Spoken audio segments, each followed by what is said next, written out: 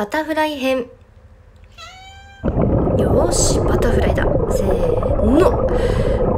うんなんかキックはまあいいとして手がいっつもきついんだよな。もう肩が痛い。あまた泡かいちゃったよ。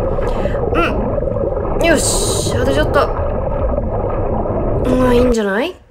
背泳ぎ編。よーしそれあバッサロきつい息がない。あー背泳ぎが一番苦手なんだよな。なんだろうな。なんかいっつも手が曲がったり肘が内側に入ったりしちゃうからあんま好きじゃないんだよな。泡かいてるし。あまだ早く終わんないかな。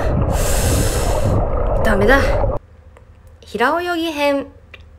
よし。あもうやっと気持ちいい種目。それ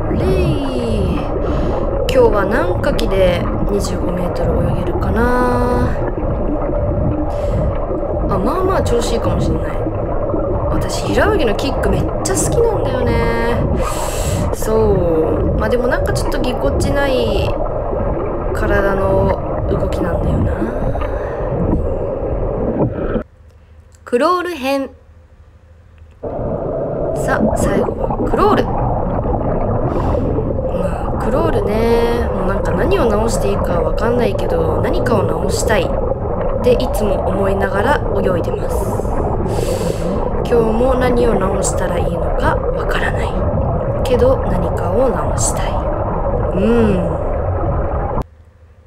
クイックターン。私マジクイックターン超綺麗だからな。それいそうこの足。あー気持ちいい。最高。はい以上です。基本的に無の瞬間はないですね。気持ちいいなと思ったりするときはほとんどないです。はいではまた明日の動画でお会いしましょう。バイバーイ。